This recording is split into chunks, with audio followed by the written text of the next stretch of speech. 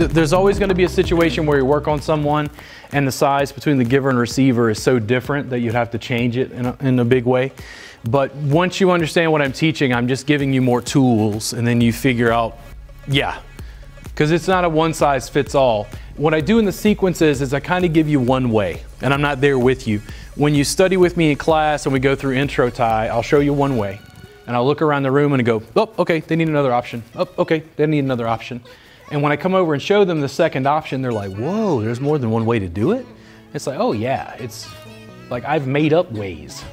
Because I, cause I would dig through my tool bag and not have the tool I needed for that client and then have to create a new tool and have to go, I've never seen this before. Let's see if this will work.